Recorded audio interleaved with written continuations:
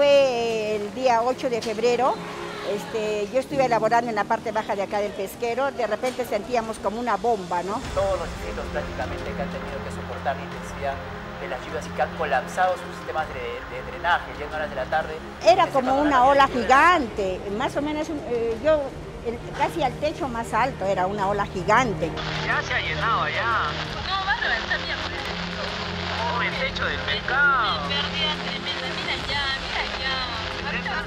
Se ha llevado casi todo el mercado ¿ah? y todos los compañeros han perdido todos sus productos, eh, unos en hartas cantidades, otros en medianas cantidades, pero todo este mercado se quedó totalmente destrozado, ¿no? Llovió en un promedio de máximo una hora, lo que puede llover durante todo un día, y ese- esa eventualidad fue tan, tan desastrosa, tan fuerte, que generó muertes en la ciudad. ¿no? Y, y se llevó carros, eh, eh, las avenidas donde normalmente tenemos las famosas torstenas de, de evacuación, no trabajaron. Fue muy triste, todos mis compañeros lloraban, estábamos muy apenados por todo lo que nos había pasado. Arequipa ha cambiado vertiginosamente durante los últimos 60 años. Grandes masas de gente migraron en búsqueda de nuevas oportunidades, incrementando la demanda de agua para el consumo, la agricultura y las industrias. Al mismo tiempo, el clima de Arequipa cambió y sus efectos se han incrementado con la mano del hombre. Entre la belleza del paisaje, comenzaron a aparecer algunos de los fenómenos climáticos más hostiles de América Latina. La pregunta que resuena hoy es si la ciudad está preparada para la enorme transformación que se requiere para adaptarse al cambio climático. Actualmente hay una declaratoria de estado de emergencia por la escasez de agua y eso también evidentemente forma parte de, todo este cambio climático en donde te encuentras en situaciones extremas, en casos donde eh, no hay agua, eh, la sequía se agudiza, o en otros casos en donde el periodo de lluvia se intensifica de tal manera que es capaz de generar muchísimos daños materiales y personales. Es decir, Arequipa se mueve prácticamente entre excesos de la naturaleza. Antes teníamos en las zonas altas de acá, si ustedes ven estos volcanes que teníamos, eran nevados, eran glaciares andinos, ¿no? Ahora no hay ni uno. Entonces, ¿dónde creen que se va a almacenar el agua que, que cae del cielo, ¿no? de las lluvias? Antes se congelaban y teníamos esa, esa reserva de agua pura para alimentarse y alimentar la campiña. Ahora no hay, pues.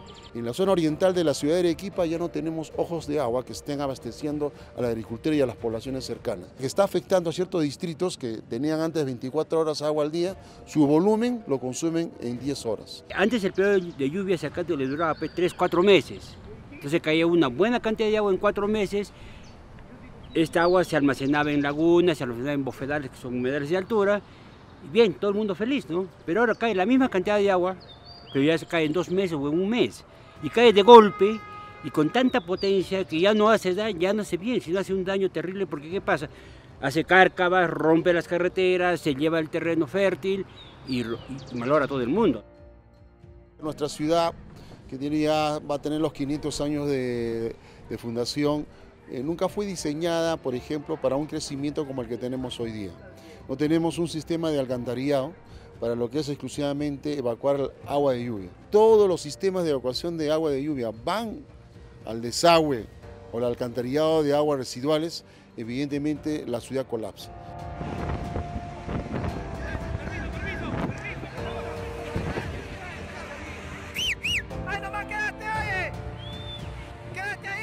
La gente gritaban, gritaban, se lo llevan las señoras, pero nadie se ha atrevido porque las olas venían así. Comenzó a revolcarme, a revolcarme y seguía llevándome, seguía llevándome. Y había un hueco ahí, ya dije, acá no me ya quedo. He caído de cabeza, de cabeza así, he caído. El único yo agarré, dije, Dios mío, sálvame, sálvame. Vinieron cuatro jóvenes, ellos me salvaron. Gracias a Dios, Dios me ha dado una vida y nuevamente he nacido. Arequipa enfrenta hoy un conflicto sin precedentes. ¿Cómo responder ante el retroceso de los glaciares, la sequía y las lluvias intensas? ¿Cómo actualizar la infraestructura para almacenar el agua y corregir las fallas en el sistema de drenaje? ¿Cómo lograr la eficiencia en el uso del agua? Con la colaboración de las autoridades oficiales y asociaciones civiles, CAF desarrolló índices de vulnerabilidad que permitieron elaborar un ranking de los distritos más vulnerables de la ciudad y analizar las principales amenazas del cambio climático. A partir de este estudio, se elaboró un portafolio de proyectos de adaptación para la ciudad, priorizando cuatro medidas de adaptación. De ese portafolio de proyectos, CAF puede financiar con financiamiento conjunto eh, con fondo como el Fondo Verde del Clima, el proyecto de mayor prioridad. Realmente ha sido muy importante y diría yo un estudio muy legítimo en la medida de que eh, el estudio eh, es el resultado de un trabajo, digamos, concertado que ha reunido a muchos actores estratégicos involucrados en la planificación de, la ciudad y han surgido cuestiones muy claras en relación a las vulnerabilidades que tiene Arequipa, pero sobre todo en relación a qué es lo que debemos de hacer para reducir estas vulnerabilidades. Con este documento, Arequipa se inscribe entre las primeras ciudades de la región que ya cuentan con un estudio de vulnerabilidad para saber cómo responder al impacto del cambio climático.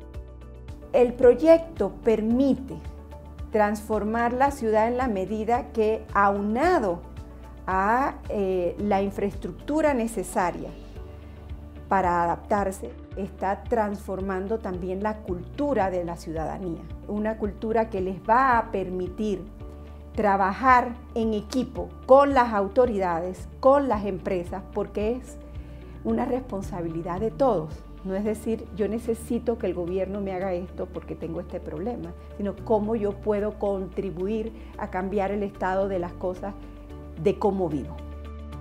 Tomando conciencia de su presente, Arequipa ha dado el primer paso para construir un mejor futuro.